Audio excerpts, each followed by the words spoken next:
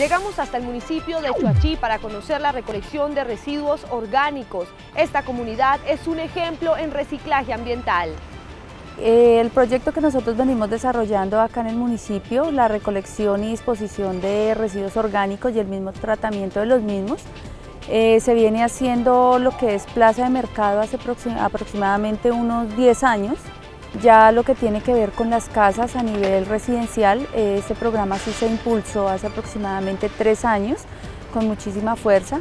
Esto se hizo ya haciendo entrega de, unas canecas, entregando el bocachi a las familias para que le dieran el respectivo tratamiento a estos residuos orgánicos. Todos los años se hace esa concientización puerta a puerta de indicarles cómo recoger esos residuos orgánicos y que sea útil, porque como las canecas traen un fondo eh, donde recogen ese lexiviado, ese lexiviado les enseñamos a la gente que se puede utilizar en la agricultura, que se puede utilizar en las pequeñas huertas, en la jardinería, ese lexiviado sí que es excelente para el, para el jardín. Viajamos a Madrid, Cundinamarca, para apreciar la belleza de los tapetes florales que adornaron la plaza del municipio. La zona de Occidente o la sabana de Occidente, el mayor... Eh, porcentaje de cultivos de flores están ubicados en Madrid, Cundinamarca.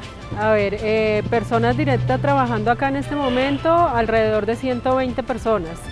Em, en metros en flor estamos hablando de casi mil metros cuadrados de flor, de tapetes en flores. Todo esto que uno hace no es mío, sino que es de todos, de todo un pueblo, de toda una ciudad, de todo un país. En Facatativá, el Centro de Bienestar del Anciano atiende a 80 adultos mayores gracias al apoyo de la Beneficencia de Cundinamarca. Invertimos en este centro 1.257 millones de pesos para garantizarles a estas personas vulneradas que tienen problemas de orden social y víctimas de la violencia, garantizarles la restitución de sus derechos, mejorarles sus condiciones de vida, creemos que es un gran aporte social que hace el departamento.